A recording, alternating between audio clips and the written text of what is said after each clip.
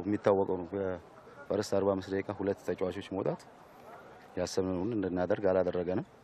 በተረፈ ግን ያገኘነውን አጋጣሚ አለመጠቀማችን ዋጋ አስከፍሎናል። ያው ጉዳቱ እንዳለ ሆኖ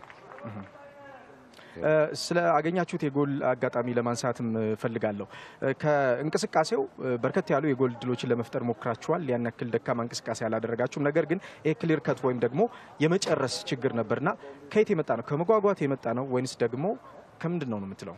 ያው እንደ አጋጣሚ ያገኙት ልጆች ከጉዳት የመጡ ልጆች ናቸው። ሁለቱም ትንሽ ከጌም መራቃቸው የአስተዋጽኦ አድርጓል ነው ምለው።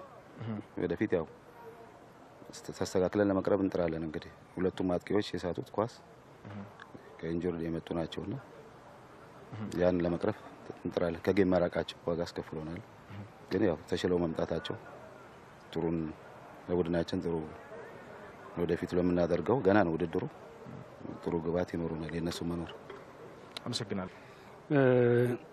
ከመጀመሪያ ሶስት first half ላይ በተለይ እኛ የመቻኮል ነበር። possession game ስ እርጋታ ያስፈልገዋል። ጎልን እንዲሁ ብዙ ስለደከምክ ስለታከትክ አይደለም። እና በእኛ በተለይ አጥቂዎቻችን እና midfield ዱ አንድ ጎላን ብቻ እዛ ነው more tactically እዚያ ሲቆም የምታየው። ሁሉም ለማግባት ያላቸው tendency ጥልቅ ስለነበረ ከጀርባቸው ሰው እየገባ ብዙ ያስቸግር ነበር። first half ላይን ያ ሁሉ ጥድፊያ እንዲሁ ነው የባከነው half ላይ ለማድረግ ያሰብነው አንደኛ ትዕግስት ሊኖረን ያስፈልጋል። ኳስ ቁጥጥራችን first half ም ጥሩ ነው፣ ያን ግን ወደ ጎል ለመለወጥ እርጋታ ያስፈልገዋል ከሚል አኳያ ነው ያደረግነው። እና አሁንም second half ላይ እነሱ ራፌልም more እንትናቸው እዛ ጋ ነው ያለው ስለዚህ ራሱ የ formation ለውጥ አድርገናል። ወደ አራት ሁለት ሶስት አንድ ወስደነዋል። ከዛ በኋላ ደግሞ አራት አንድ የነበረውን ወደ አራት ሁለት ሶስት አንድ ወስደናል። እንደገና ደግሞ አሁንም የተሻለ ነገር ለማድረግ striker ም እስከ መጨመር ፈልገናል። ዞሮ ዞሮ ከዚሁ ማግኘት የሚገባንን ማሸነፍ ብቻ ሳይሆን እንደምታየው ደረጃህን ከፍ ዝቅ የሚያደርገው የጎልም advantage ያስፈልጋል። በዛ መሰረት ብዙ ነገር ተጭነን ለመጫወት ሞክረናል። ከረፍት በኋላ ባለው ነገር ጨዋታውንም ቀለል አድርገን ይዘነዋል እና አጠቃላይ ያለው መንፈስ ይህን ይመስላል። በተጫዋቾች ውስጥ ያለው የተለያየ ባህሪ እየጠቀመ ይመስለኛል በዛሬው ጨዋታ እና ስለ አንድ ተጫዋች ብታወራኝ ደስ ይለኛል። ስለ ናትናኤል ገብረ ጊዮርጊስ። ይሄ ተጫዋች በጣም ወጣት ነው፣ አንተ ነህ እየተጠቀምክበት የምትገኘው እና እሱ ውስጥ ያለውን አቅም እንዴት ነው የምትገልጸው?